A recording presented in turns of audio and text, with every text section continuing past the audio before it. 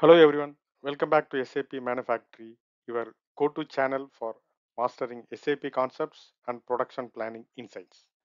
Today, we will break down two essential terms in the world of SAP and production planning, capacity and scheduling.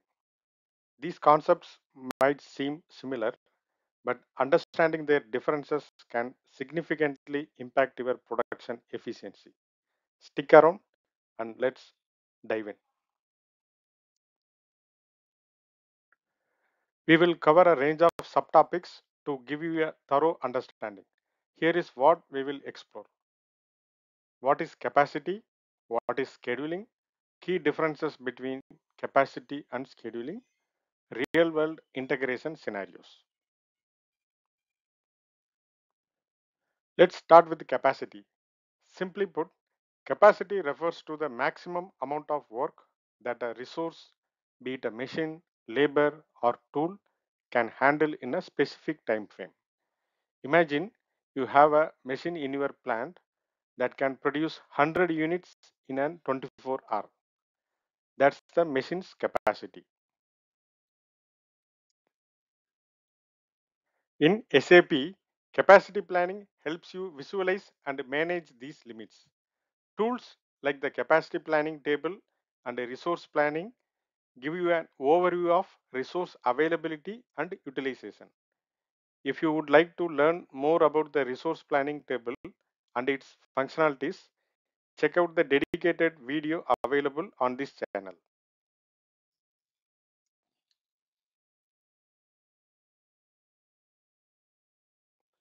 Now, let's talk about scheduling. Scheduling is all about timing. It determines when a task or operation should start and finish, ensuring you meet deadlines and optimize resource usage.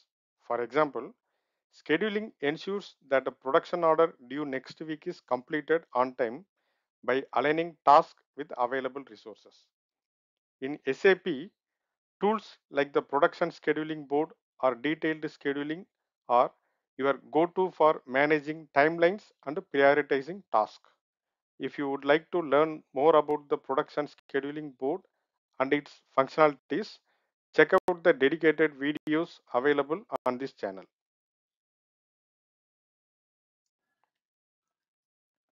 How do these two concepts differ?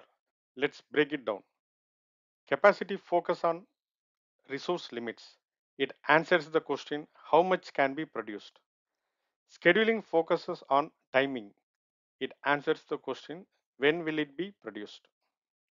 While capacity ensures you don't overcommit resources, scheduling helps you organize tasks within those limits. Example, imagine a machine with the daily capacity limit of 100 units. Scheduling determines whether to run the next order tomorrow or prioritize a different task. For producing 200 units, each order has a production quantity of 100 units. If two orders are planned sequentially, completing 200 units will require 48 hours. In this case, required capacity 48 hours, required scheduling time 48 hours. Now, if you prioritize this order and plan to use an additional resource, two machines can be used to complete the 200 units in parallel. In this scenario, required capacity still 48 hours total across both machines. Required scheduling time reduced to 24 hours since both machines operate simultaneously. This distinction is reflected in the capacity and scheduling formulas at the work center. If you would like to learn more about how to set up the work center master data, check out the dedicated video available on this channel. In the real world, managing scheduling and capacity is very critical. For an example, if you are a responsible person for a particular production line, you are sequencing the orders according to the available capacity. In this example, we have taken two orders, each contains 100 units. and the line capacity also it is 100 units in 24 hours. So to produce 200 units, the system taken 48 hours scheduling time. That is from 6th to 8th. That is 48 hours it taken as a scheduling time. As part of capacity, we can check in the resource planning table. If you see here, on both the date, it consumed 100%, that is again 24 hours. So 24 hours plus 24 hours, 48 hours it consumed.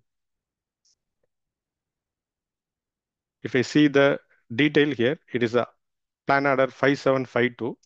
On the next day, it is 5753. But due to the customer demand, you're supposed to prioritize both orders on the same day. So in that case, you are introducing new alternative resource and scheduling the second order on the same day.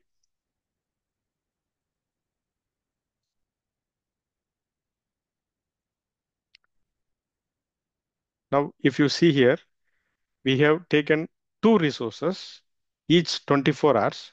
That means we record 24 hours plus 24 hours capacity, that is, that is 48 hours capacity to produce 200 units. But if you check out the scheduling time, it records only 24 hours, not 48 hours. So this is how you can understand what is the difference between scheduling and capacity. To sum up, capacity is about how much and scheduling is about when. Together, they ensure smooth production planning and execution. Have you faced challenges with the capacity or scheduling in your projects? Drop a comment below and let's discuss. If you found this video helpful, don't forget to like, share and subscribe to SAP Manufactory for more insights into SAP and manufacturing processes. See you in the next video.